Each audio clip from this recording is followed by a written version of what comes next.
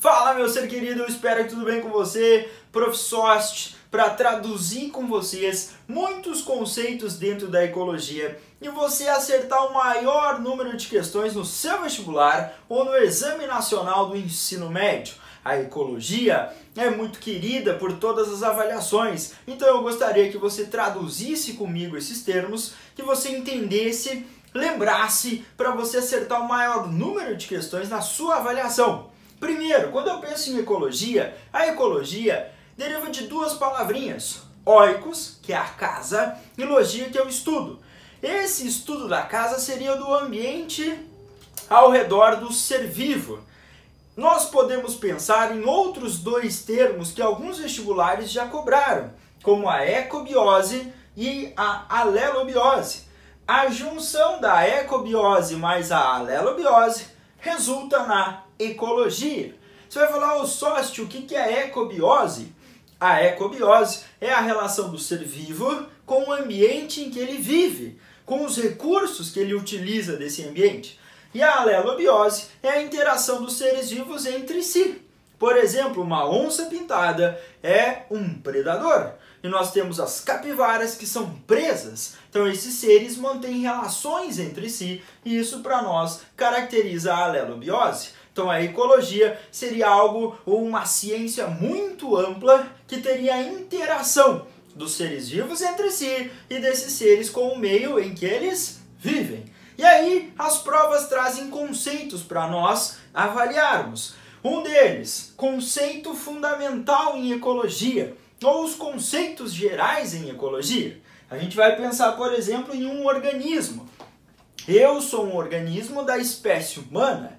O organismo é a unidade fundamental. Agora, eu sou um organismo pluricelular, eucarioto, heterotrófico, mas eu posso pensar numa bactéria que está no ambiente. E essa bactéria é um ser procarioto, é um ser unicelular, é um ser pequenininho que tem uma membrana, uma parede celular separando ela do ambiente externo. Então, o organismo é a menor unidade fundamental dentro da ecologia.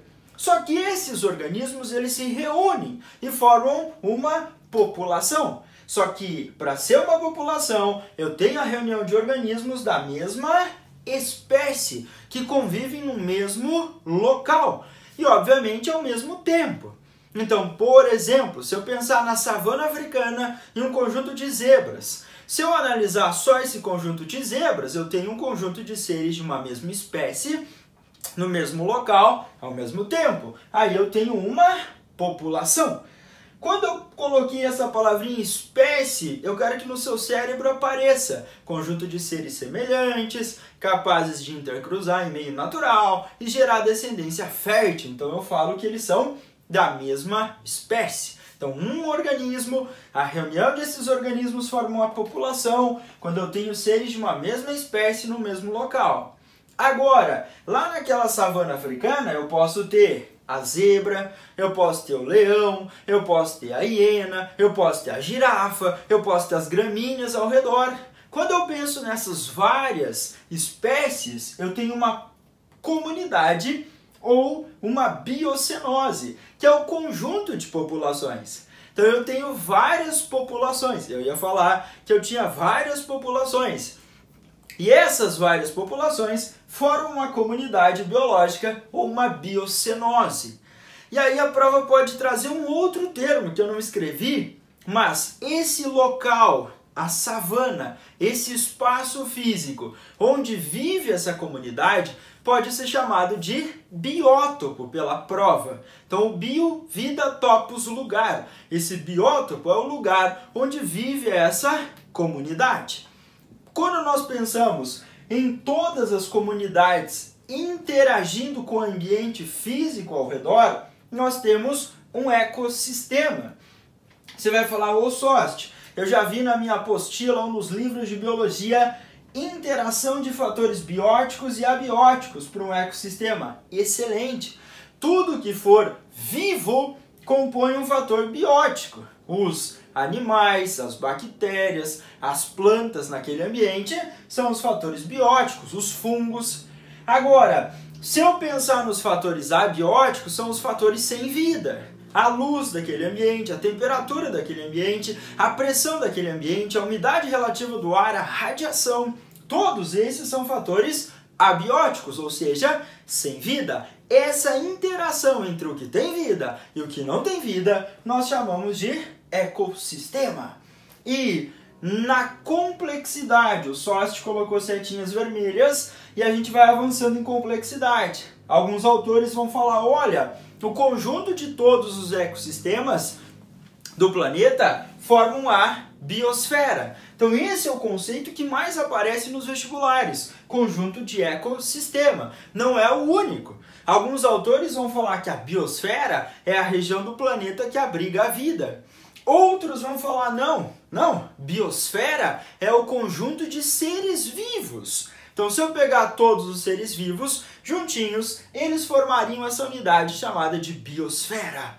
Só que a que mais aparece é conjunto de ecossistemas. Então, põe no seu cérebro essa noção de complexidade uma unidade, um organismo, um conjunto deles da mesma espécie, uma população, mais de uma espécie, várias espécies reunidas, uma comunidade. Esses seres interagindo com os fatores sem vida, um ecossistema, e o conjunto de todos os ecossistemas, a biosfera. Agora a gente vai direcionar para outros conceitos. Por exemplo, nicho ecológico, um dos muitos aparentes nas provas. Quando eu penso em nicho, Nicho é um modo de vida, numa tradução para muitas avaliações. Só que ele é mais que isso, muito mais. Esse modo de vida pode aparecer como a profissão do ser vivo no ambiente.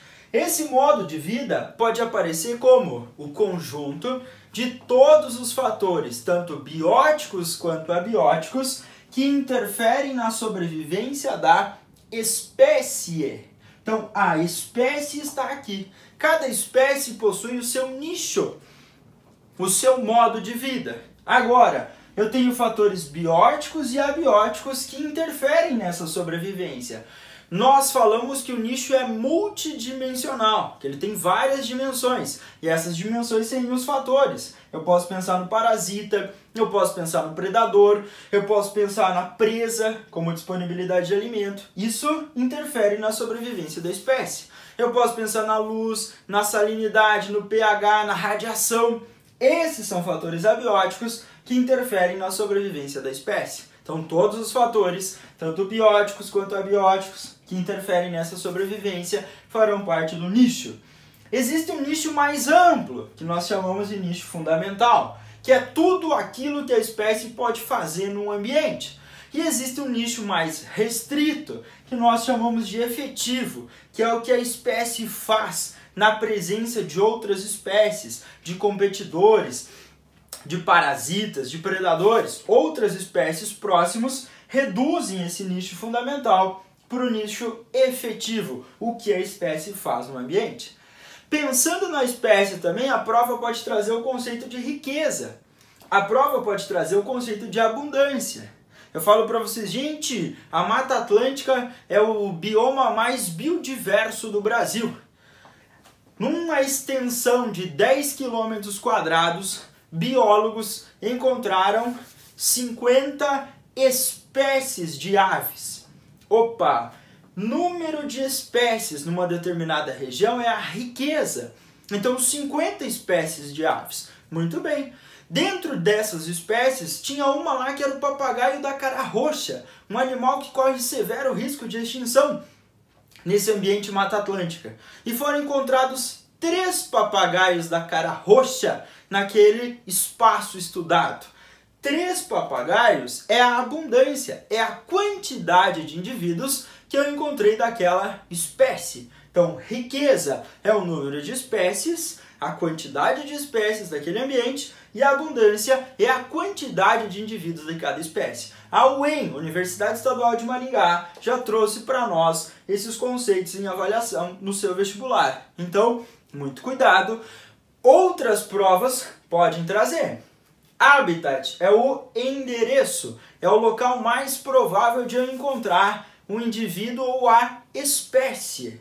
Então eu tenho uma região. Ah, o papagaio da cara roxa vive na Mata Atlântica, aquele é o seu habitat. Ele reproduz duas, três vezes ao ano, deixa dois filhotes, se alimenta de insetos, de frutos. Opa, essa é a multidimensão do papagaio da cara roxa no ambiente. Então esse é o seu nicho ecológico, beleza? Outros conceitos que são menos frequentes, mas já apareceram e para quem vai para os vestibas mais complicados desse nosso Brasil, nós temos a tradução eficiência ecológica, nível trófico. Geralmente isso aqui vai aparecer lá nas cadeias e teias alimentares, um assunto do nosso próximo encontro. Lá nas cadeias e teias alimentares eu tenho produtor, consumidor, decompositor. Então esses são os níveis, a posição. Eu tenho o produtor, primeiro nível trófico, a posição. Consumidor primário, segundo nível trófico, a posição. Então, a nível trófico é a posição desses indivíduos nas cadeias ou teias alimentares. Agora, a CAF, por exemplo, já cobrou eficiência ecológica. O que é eficiência ecológica, sócio? É a porcentagem de energia disponível de um nível trófico a outro. O produtor produziu 100 quilocalorias numa unidade de tempo. Então ele produziu parte do que ele produz, ele utiliza para a sobrevivência dele e parte ele disponibiliza para o próximo nível. O que é disponibilizado para o próximo nível é a eficiência ecológica. Os primeiros cálculos mostravam 10% de transferência.